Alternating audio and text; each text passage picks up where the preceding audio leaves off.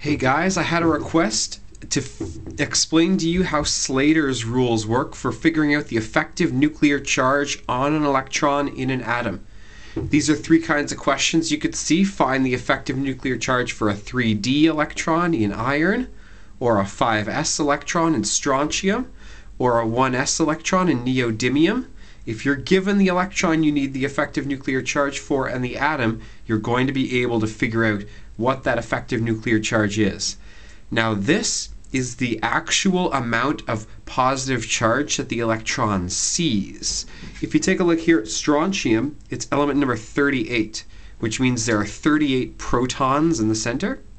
But an electron far away from the nucleus won't see all 38 at once because there are other electrons blocking its view maybe it'll only see the equivalent of 11 or 15 or 3 or something. You'll, it'll see less than 38, and that amount that it actually sees is the effective nuclear charge. So, how do you find the effective nuclear charge with Slater's rules? Step 1 write the electron configuration for the atom itself. I'm going to do that right now for iron. According to the periodic table here, iron is element number 26. So, according to my order of filling, that means it's 1s2, 2s2, 2p6, 3s2, 3p6, 4s2, 3d6. 2 to 10, 12, 18, 20, 26 electrons. Why does 4s come before 3d? because of the order of filling. If you don't know what I'm talking about, Google order of filling. Okay, step two. Rearrange all of these from the highest to lowest n. Notice that this 4 came before this 3. We're going to switch those back only for the purposes of Slater's rules. And we're going to group S and P's together, and everything else is going to stay separate. Here's what I mean in the first shell, we have 1s2. Check. In the second shell, we have 2s2, 2p6. I'm going to keep those together because it's an s and a p. We'll group those together. In the third shell, we have 3s2, 3p6. Keep those grouped together because it's s and p. Remember, we're going from lowest to highest n. So 3d6 comes next and 4s2. Okay, so everything's separate, goes from lowest to highest n, and only the s's and p's with the same n's are grouped. Check. Next, you have to figure out which electron you're calculating the ZEFF or effective nuclear charge for. In this case, it's a 3D electron. And depending on what kind of electron you're doing it for, you have different rules, I'm afraid. For a D or F electron, you're going to add up 0.35 for every electron in the same group and 1 for every electron in a lower group. 0.35 in the same group, 1 in every lower group. Here's what I mean. We're doing it for a 3D electron. How many other electrons are in 3D? five of them. There are six total. We're doing this for one of them. There are five other electrons. We deduct 0.35 for every single one of those. And we deduct 1 for every electron in any other lower group. So we're there's 8 here, so we're going to subtract 1 8 times. Here, there's 8 electrons. Subtract it 8 times. There's two electrons here. Subtract it eight times. Add all of these together. 2 plus 8 plus 8 plus 5 times 0.35. That's, uh, no, I don't have my calculator with me.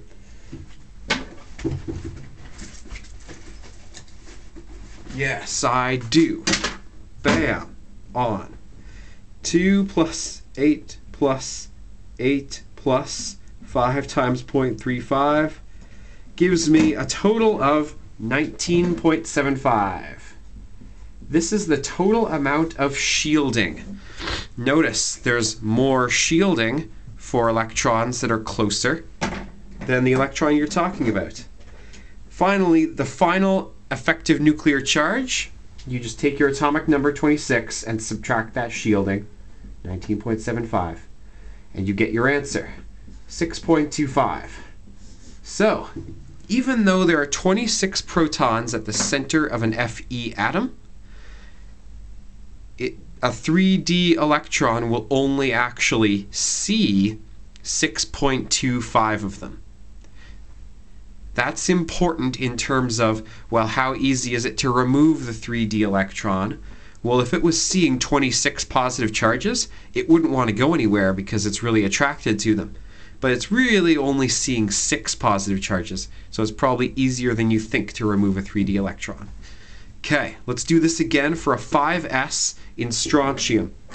Step 1. Write an electron configuration. Well, strontium is element number got my periodic table. Strontium is element number 38. So I need 38 electrons, and I need my order of filling. Excuse me. 1s2, 2s2, 2p6, 3s2, 3p6, 4s2, 3d10, 4p6, 5s2. That takes me to 38 electrons, I believe. 2 and 2, 10, 12, 18, 20, 38 electrons. Bam! Who's awesome? I am. Rearrange these from lowest to highest n. Group the s's and the p's. Here we go. 1s2 stays solo. 2s2, 2p6 gets grouped. 3s2, 3p6 gets grouped. 3d10, all the threes first. 4s2, 4p6, s's and P's grouped. 5s2. Okay. And which electron are you calculating effective nuclear charge for? For an s electron, you follow these rules. You add up 0.35 for each electron in the same group. Same rule as before. But here, you're also going to add up 0.85 for each electron one shell lower than the one you're talking about, and one for every electron two or more shells lower. Here's what I mean. How many other electrons are in the 5s orbital? One. So we deduct 0.35 for that. We deduct 0.85 for every electron one shell lower. That's the fourth shell, and there's only eight electrons there. So we deduct 0.85 eight times, and we subtract 1 for every electron two or more shells lower. That's the third shell or lower. So we're going to subtract 10 for these, 8 for all these, 8 for all these, and 2 for all those. These are all the amounts of shielding that each electron contributes. We got to add them all up. 2 and 8 and 8 and 10 and 8 times 0.85 and 1 times 0.35. Add all those up, you get 35.15. So the effective nuclear charge on the 5s electron in SR is atomic number of SR minus this shielding. When you do that, you end up with 2.85.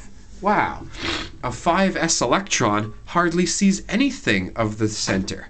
I guess that makes sense because it's so far away and there's all these other electrons blocking its view.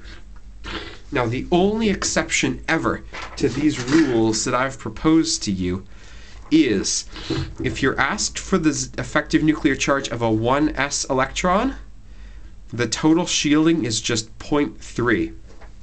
Here's what I mean. If you want the effective nuclear charge for a 1s electron in neodymium, doesn't matter what this is. Could have been am- americium or, uh, I don't know, californium, whatever. None of the electrons in shells farther than the 1s are going to count because they're outside and they're not blocking the 1s electron's view of the nucleus. The only thing blocking a 1s electron's view of the nucleus is the other 1s electron. And that other 1s electron always contributes 0.3. So the effective nuclear charge for neodymium, a 1s electron in neodymium, I should say, is 60 atomic number minus the total shielding 59.7. Obviously, the 1s electron sees almost all of the protons because it's got the front row seat. The only thing blocking it is sometimes the other 1s electron, and so it's really only seeing 59.7 protons at the center. Look, guys, I get Slater's rules are contrived. I get that this isn't the most elegant process in the world, but it works. It helps us calculate the effective nuclear charge for any electron that you want, and you should learn it if you want to get an A on your Slater's Rules test. What up? Best of luck.